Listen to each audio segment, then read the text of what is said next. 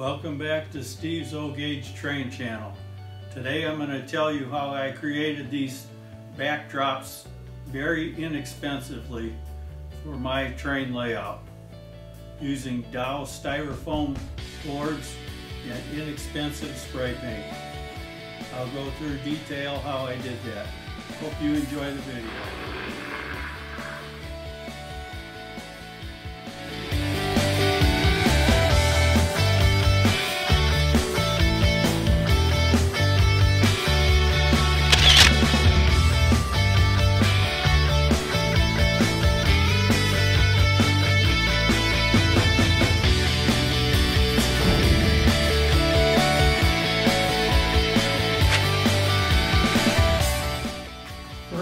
I did was I outlined some cloud formations.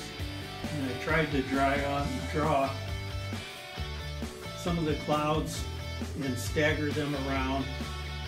And then I used white paint and gray. Tried to, clouds usually have some gray underneath. And there's a little bit of uh, different tints also in the clouds. And then as you get closer to the horizon, the sky usually gets lighter. So I lighten that bottom area to make it look more realistic. On the backdrop, I have printed out these mountains. I printed out with my printer. I cut out these cabins and so forth and glued them right on there.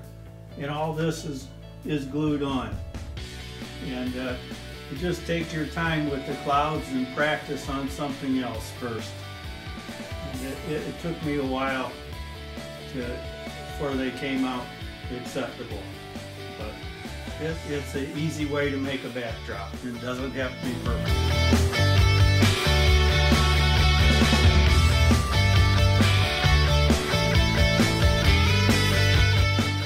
The backdrops slide in and out easily for quick access.